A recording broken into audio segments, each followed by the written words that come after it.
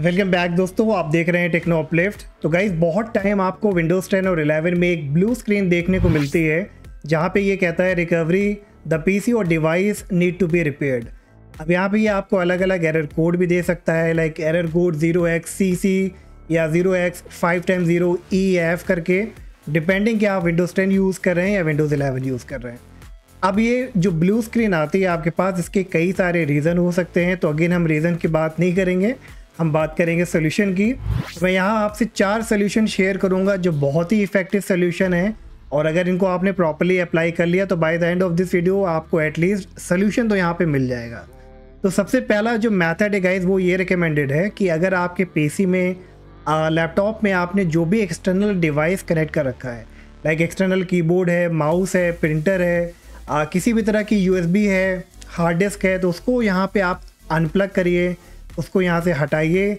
हटाने के बाद दोबारा से सिस्टम को रीस्टार्ट कराइए और चेक करिए क्या इशू यहाँ पे आपका रिजॉल्व होता है कि नहीं होता है। अगर इससे यहाँ पे इशू रिजॉल्व नहीं होता है तो चलिए हम देखते हैं कि नेक्स्ट तीन सोल्यूशन क्या हैं जो आप अप्लाई करके इस प्रॉब्लम को ठीक कर सकते हैं। नेक्स्ट मेथड में गाइज़ आपको यहाँ पे क्या करना है? आपको यहाँ पे ब्लू स्क्रीन में ही सबसे नीचे एक ऑप्शन मिलता है press F8 for startup setting यहाँ पे आप F8 की को प्रेस करिए अपने कीबोर्ड से। और यहाँ पे स्टार्टअप सेटिंग ओपन होगी, लेकिन मेजॉरिटी ऑफ़ द पीपल का ये F8 वाला ऑप्शन अभी फ़िलहाल के लिए काम नहीं करेगा।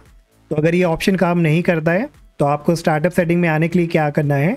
अपने पीसी और लैपटॉप को फोर्सफुली शट डाउन करना है तीन बार। तो कैसे करेंगे आप?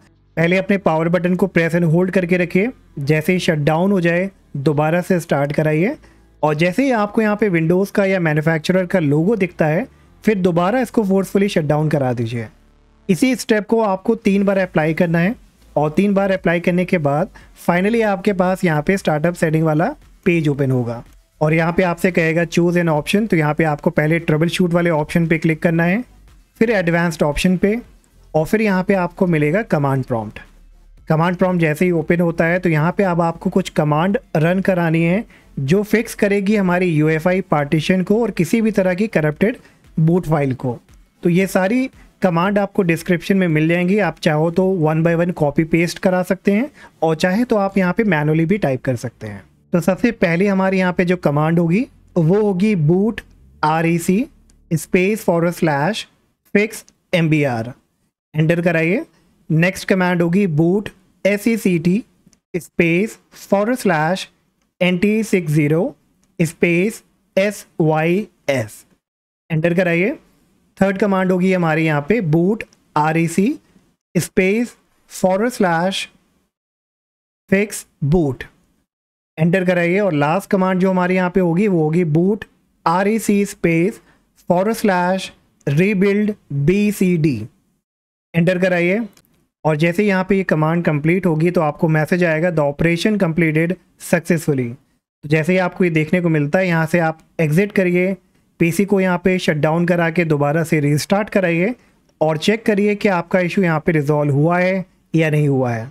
आप मेरे से कई लोगों का इशू यहाँ पे रिजॉल्व हो जाएगा और आपको नॉर्मल यहाँ पे स्क्रीन देखने को मिलेगी लॉगिन वाली।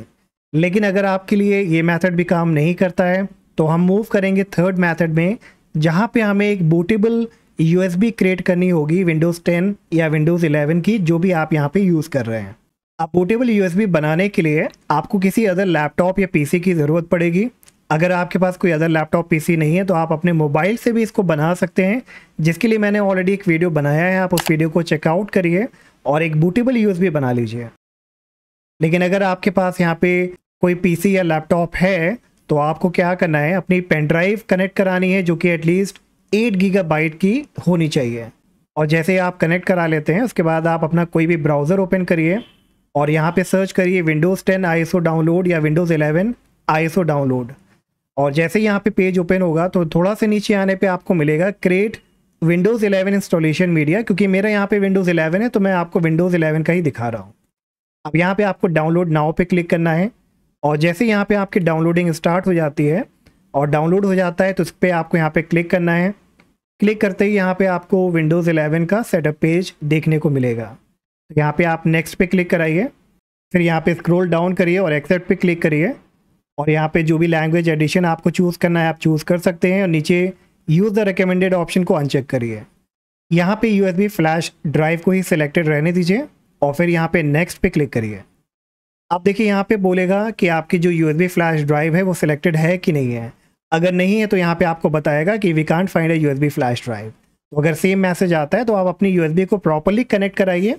और उसके बाद यहाँ पे रिफ्रेश ड्राइव लिस्ट पे क्लिक करिए तो जैसे ही डिटेक्ट हो जाएगी तो यहाँ पे आपको वो शो करेगा और यहाँ पे मेक श्योर करके रखिए कि आप एक ही ड्राइव को यहाँ पे कनेक्ट कराइए ताकि आपकी कोई अदर ड्राइव यहाँ पे बूटेबल ना बन जाए जैसे ही आप यहाँ पे कनेक्ट करा लेते हैं यहाँ पे नेक्स्ट पे क्लिक करिए और यहाँ पे देखिए इंस्टॉलेशन और डाउनलोडिंग स्टार्ट हो जाएगी अब ये यहाँ पे थोड़ा सा टाइम लेगा प्रोबेबली पंद्रह से बीस मिनट या ज़्यादा भी ले सकता है तो आप यहाँ पे वेट करिए और जैसे ही ये कंप्लीट हो जाएगा तो आपके पास एक मैसेज आएगा your USB flash drive is ready तो हमारी यहाँ पे बूटेबल यूएसबी तैयार हो गई है। अब यहाँ पे आप फिनिश पे क्लिक करिए और यहाँ से अपनी पेन ड्राइव को अनप्लग करिए और अब जाके उस डिवाइस में कनेक्ट कराइए जहाँ पे आपको प्रॉब्लम है, जहाँ पे आपको ब्लू स्क्रीन का एरर आ रहा है। और जैसे ही आप वहाँ पे कनेक्ट करा लेते हैं, अब अपने सिस्टम को आपको रीस्टार्ट कराना है। बायोज मोड में ताकि हम यहाँ पे बूट प्रायोरिटी को चेंज कर सकें और नेक्स्ट टाइम हमारा कंप्यूटर बूट हो सके इस बूटेबल यूएसबी से। क्लियर तो उसके लिए डिपेंडिंग जो भी आपका मदरबोर्ड है मैन्युफैक्चरर है, आप डिफरेंट बायोस की को यूज़ कर सकते हैं लाइक F2 है स्केप है डिलीट है F12 है। तो आप जैसे ही बायोस में आ जाएँगे तो आपको बूट प्रायरिटी ऑर्डर यहाँ पे चेंज करना है और टॉप पे यहाँ पे आपको यूएसबी जो आपने बूटेबल बनाई है, उसको यहाँ पे सिलेक्ट कराना है। ठीक है तो मैं यहाँ पे वर्चुअल मशीन का यूज़ कर रहा हूँ। तो यहाँ पे मेरे यूएसबी डिवाइस मुझे शो कर रही है तो उसको मैं यहाँ पे सिलेक्ट कर लूँगा। और सिलेक्ट करा के जैसे ही यहाँ पे एंटर करेंगे तो अब हमारा सिस्टम यहाँ पे स्टार्ट होगा विंडोज़ के इंस्टॉलेशन से। और जैसे यहाँ पे आपको विंडोज़ सेटअप का पेज देखने को मिलता है, इसे यहाँ पे आप क्लोज़ कर दीजिए।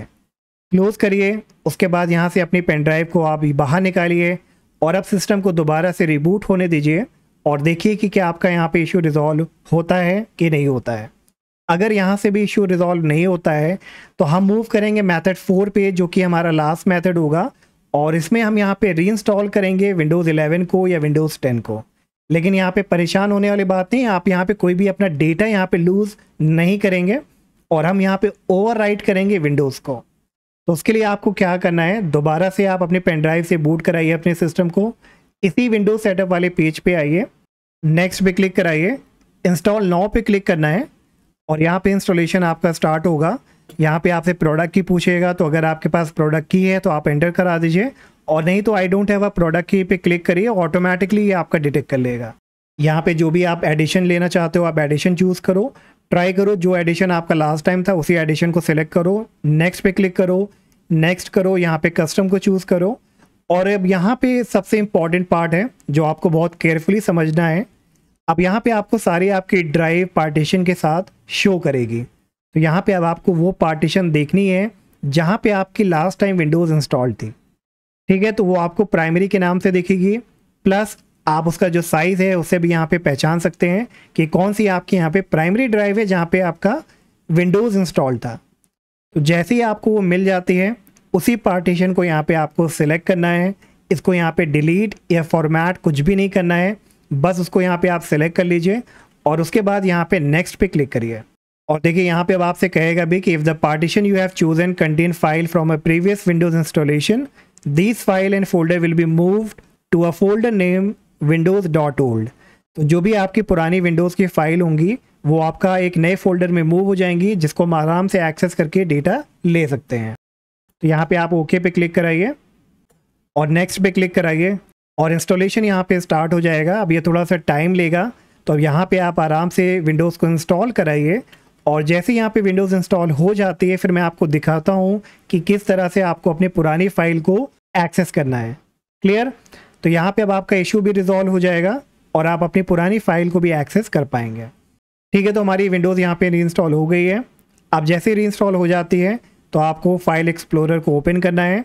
और लेफ़्ट इन मेन्यू ऑप्शन में आपको चूज़ करना है दिस पीसी फिर लोकल डिस्क सी में जाइए, और यहाँ पे आप देखिए आपको एक फोल्डर मिलेगा विंडोज़ डॉट ओल्ड के नाम से। तो उस पर यहाँ पे आप डबल क्लिक करिए, और यहाँ पे यूज़र्स वाले पे क्लिक करिए, और जो भी आपका यूज़र अकाउंट है, उसको यहाँ पे सिलेक्ट करिए।